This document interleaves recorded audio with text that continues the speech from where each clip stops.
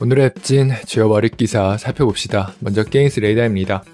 비추 날리고 환불하라 촉구했던 헬 다이버즈2 커뮤니티 매니저 해고 어제 헬 다이버즈2 커뮤니티 매니저 스피츠가 거의 해고될 뻔 했으나 아직 해고되지 않았다고 전해드렸는데요. 오늘 업데이트된 바 결국 해고됐습니다. 그는 일반적으로 커뮤니티 매니저가 사람들에게 환불하고 부정적인 리뷰를 남기라고 촉구하는 건 좋은 생각이 아니라고 말했습니다. 하지만 그는 그 좋지 않은 생각을 실행하고 말았죠. 리뷰를 부정적으로 바꾸고 환불하라고 말했을 때 난 이미 위험을 감수 중이라는 걸 알았다며 그 결정이 여전히 옳다 믿는다고 말했습니다. 커뮤니티를 대변하는 일이 내 일이었으니 그 일을 했다면서요. 또한 그는 디스코드에서 모든 전쟁에는 사상자가 남기 마련이라는 말을 남겼습니다. PC게임입니다. MS 4개 스튜디오 폐쇄 발표 프레이와 하이파이 러쉬를 만든 아케인 오스틴과 탱고 게임웍스가 포함된다. IGN과 블룸버그 등의 언론이 MS가 엑스박스 여러 스튜디오를 폐쇄한다고 알렸습니다. 이 조치는 영향력이 큰 작품에 우선순위를 두고 집중하기 위한 전략의 일환입니다. 폐쇄가 발표된 4개의 스튜디오는 아케인 오스틴, 탱고 게임웍스, 알파독 게임즈, 라운드하우스 게임즈입니다. 아케인은 지난 수년간 디스아너드, 프레이, 데스루프 등 여러 탁월한 게임을 만들어 왔습니다. 아케인 오스틴의 가장 최근작인 레드폴은 그다지 좋은 평가를 받지 못했지만요. 아케인 오스틴은 문을 닫지만 아케인 리용은 살아남아 마블의 블레이드를 만드는 일을 계속할 예정입니다. 한편 탱고 게임웍스는 이블 위딘 개발사로 유명하고요. 최근 고스트와이어 도쿄와 하이파이 러쉬를 개발했습니다. 하지만 이번에 역시 역사의 뒤안길로 사라지게 됐습니다. 엑스박스 게임 스튜디오 대표 맷 부티는 IGN에 보낸 성명에서 이번 결정은 베데스다 게임들을 포함 보다 영향력 있는 작품들에 더 많은 자원을 투입하기 위한 결정이라고 밝혔습니다. 수십 년 동안 육성된 베데스다의 사랑받는 세계와 블록버스터 게임들에 더 많은 투자를 하기 위한 거라면서요.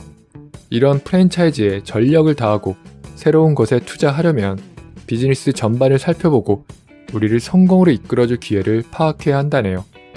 개발자들은 이미 트위터를 통해 이 갑작스러운 뉴스에 당혹감을 표하고 영향받는 개발자들에게 위로를 전하고 있습니다.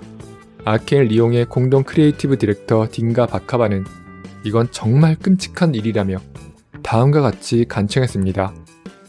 우리에게 인간다울 권리를 달라 이 글을 읽는 모든 경영진에게 비디오 게임은 엔터테인먼트와 문화산업이라는 걸 상기시켜주고 싶다.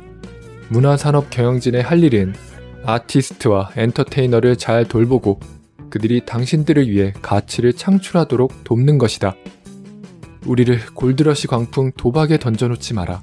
우리를 잘못된 경영 판단의 희생양으로 삼지 마라. 우리 업무 환경을 약육강식 정글로 만들지 마라.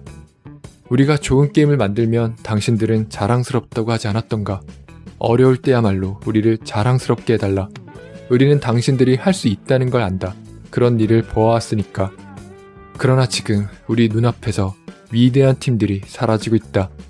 아켄 리용은 안전하지만 부디 이 모든 일을 진중히 대처하고 피해를 입은 사람들의 목소리를 존중하고 그들의 이야기와 감정이 표현될 수 있는 여지를 남겨달라.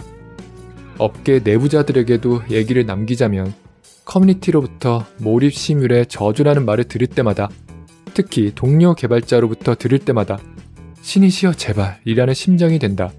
제발 과거의 비합리적인 불안을 되풀이하는 대신 우리가 직면한 진짜 도전들을 말하자. 그리고 더 내부자들을 향해 한마디 하자면 제발 멈춰달라. 자, 이 소식은 2023년부터 게임판을 뒤흔들고 있으며 2024년에도 계속되고 있는 정리해고의 파도가 더욱 거세지는 가운데 나왔습니다. 이 뉴스가 특히 더 아프게 다가오는 이유는 두 가지 이유 때문입니다. 첫째, 아케인은 역사적으로 매우 훌륭한 작품들을 만들어 왔습니다. 둘째, 탱고 게임웍스의 하이파이 러쉬는 극도로 전망이 밝은 작품이었습니다. 1년 전 엑스박스의 아론 그린 버그는 하이파이 러쉬가 우리의 모든 성과 지표와 기대치를 뛰어넘은 획기적인 히트작이라고 칭한 바 있습니다. 많은 팬이 이 트윗을 기억하며 분노하고 있죠. 하지만 아케인의 레드폴은 스튜디오와 MS 모두에게 큰 당혹감을 안겼고 하이파이 러쉬는 돌풍을 일으켰지만 고스트와이어 도쿄는 그렇지 못했습니다. 때문에 실적 저조자들을 벌한 이번 MS의 조치는 스타필드의 부진한 성과에 대한 경고의 의미로도 읽힐 수 있습니다. 물론 스타필드는 잘 팔렸지만 베데스다의 다른 mainline RPG만큼 지속적인 관심을 끌지 못했습니다. 스타필드 modding 커뮤니티 역시 그다지 스타필드에 열성적이지 않고 스타필드는 여러 시상식에서 후보에는 올랐어도 아무런 상도 타지 못했습니다. 과연 베데스다가 다음 프로젝트에서 똑같이 실패한다면 그걸 감당할 여력이 있을지 모르는 일이죠. MS는 최근 액티비전 블리자드를 인수하는데 687억 달러를 썼습니다. 근데 비슷한 스타일로 스튜디오를 사들였던 엠브레이서는 그 스튜디오들의 운영 비용과 취소된 게임들의 비용 때문에 내부로부터 줄줄이 무너지고 말았습니다. MS 역시 그런 사례에 들어서고 있는 겁니다. 궁극적으로 이번 스튜디오 폐쇄는 대규모 인수와 무리한 사업 결정이 지배하는 triple A 산업이 한순간에 무너질 수 있다는 걸 암울하게 상기시킵니다. 많은 개발자들도 이 악순환의 패턴을 발견하고는 안정성을 달성하는데 완전히 실패한 이 거대 게임 산업에 크게 불만족스러워하고 있다네요. 이 소식을 토론한 게임즈 레딧 유저 옵스는 아케인 오스틴은 지난 10년간 비극적인 스토리를 써내려 갔다고 말했습니다. 1. 디스아너드 이후 라파엘 콜란토니오가 스튜디오를 이끌며 시스템 쇼크의 정신적 계승자가 될 완전히 새로운 IP를 만들고 있었습니다. 이 아케인은 믿을 수 없을 정도로 몰입감 있고 사실적인 세팅을 만들어냈습니다. 모든 자원을 환경이 상호 연결되어 있는 응집력 있고 실제 존재하는 것 같은 우주 정거장을 만드는 데 집중한 겁니다. 3. 제니맥스 대표는 라파엘의 판단을 무시하고는 게임 이름을 프레이라 할 거라고 통보합니다. 라파엘은 그 이름은 말이 안 되며 몇 년 앞서 취소된 프레이2를 매우 부정적으로 암시한다는 걸 알고 있었습니다. 라파엘의 반대에도 불구하고 그의 의견은 묵살되고 게임은 프레이가 됩니다. 자, 라파엘이 우려했던 대로 게임이 발표되자 초기 반응은 젠장 이게 뭐야? 이건 프레이2가 아니잖아 였습니다. 오 프레이의 마케팅 캠페인은 둠의 성공을 모방해 프레이를 마치 액션 게임인 것처럼 홍보했습니다. 전혀 액션에 초점을 맞춘 게임이 아닌데 말이죠. 6게임이 출시되자 IGN은 세이브 삭제 버그를 이유로 프레이에 10점 만점에 4점을 줬습니다. 이 점수는 전세대 콘솔에서 거의 돌아가지 않아 상점에서 내려갔던 사펑 콘솔 점수와 같은 점수였습니다. 7. 라파엘은 개인 생활과 소규모 프로젝트에 집중하기 위해 아케인을 떠납니다. 나중에 그는 그의 열정 프로젝트에 대한 제니맥스의 잘못된 관리가 자신이 아케인을 떠난 결정에 큰 영향을 미쳤다고 암시했습니다. 8. 프레이가 출시되고 전반적으로 매우 긍정적인 비평을 받은 지 불과 한 달 후에 E3 2017이 열렸습니다. 근데 베데스다는 프레이를 전혀 언급하지 않았죠. 9. 프레이가 몰입 시뮬 장르의 탁월한 명작이라는 입소문이 퍼지면서 시간이 지나도 판매량이 계속 올라갔고 프레이의 컬트적인 팬층이 생깁니다. 10. 아케인은 프레이 문 크래쉬를 만들어냅니다. 이 DLC는 게임의 roguelike 요소를 도입해 널리 찬양을 받았죠. 11. 레드폴 개발이 시작됩니다. 레드폴이 상시 온라인 라이브 서비스 게임이 될 거라는 소식을 듣고 많은 아케인 직원이 퇴사합니다. 레드폴 개발 기간 동안 프레이를 개발한 아케인 오스틴 개발자의 75%가 스튜디오를 떠납니다. 12. 레드폴 마케팅 캠페인은 별다른 관심을 끌지 못했고 아케인 팬들은 이 게임이 모리시뮬 명작이기를 소망했습니다. 13. 레드폴은 MX의 제니맥스 인수 후 첫 메이저 작품으로 출시됩니다. 그리고 비평가들로부터 혹평을 받았고 상업적으로 대실패했습니다. 14. 지난 1년 동안 스튜디오는 여기저기 작은 업데이트를 발표하며 어떤 식으로든 레드폴을 개선하기 위해 고군분투했습니다. 15. 레드폴이 출시된 지 약 1년, 프레이 이후 7년 만인 오늘 이 스튜디오는 MS에 의해 폐쇄됐습니다. 의심할 여지 없이 대부분의 언론은 슬프게도 아켄 오스틴을 레드폴 회사로서 기사를 내보낼 거라네요. 유저 더 오포짓은 난 모리시뮬 장르를 사랑하기 때문에 모든 주요 모리시뮬 작품을 여러 번 플레이했다고 말했습니다.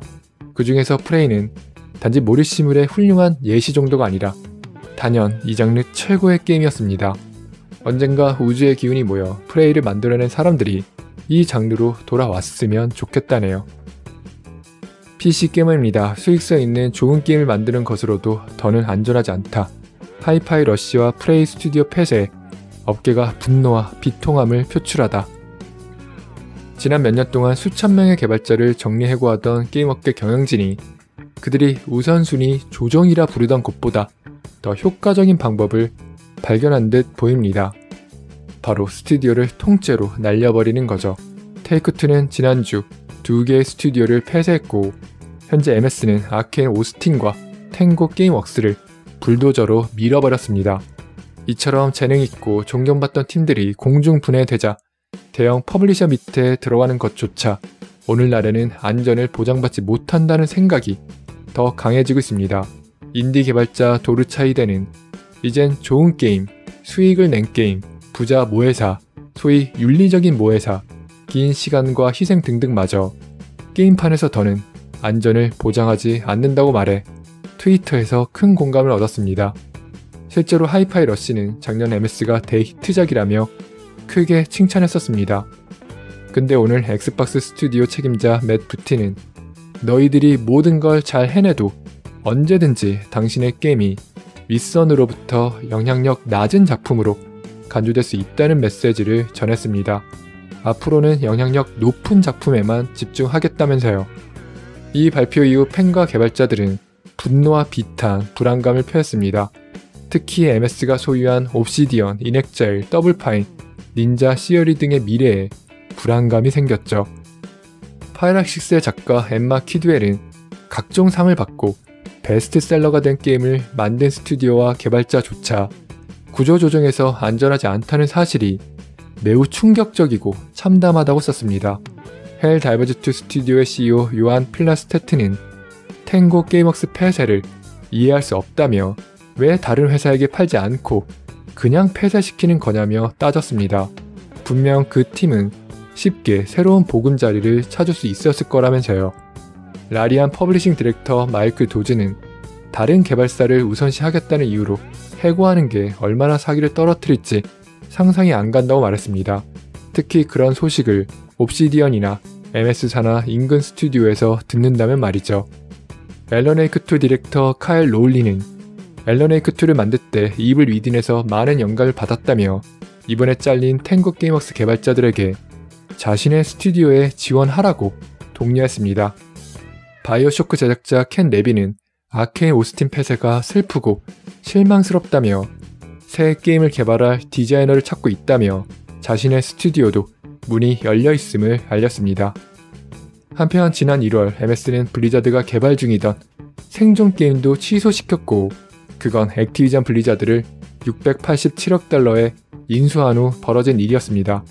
동시에 엑스박스에서 1,900명이 넘는 직원을 자르며 그 개발팀도 해고했다네요.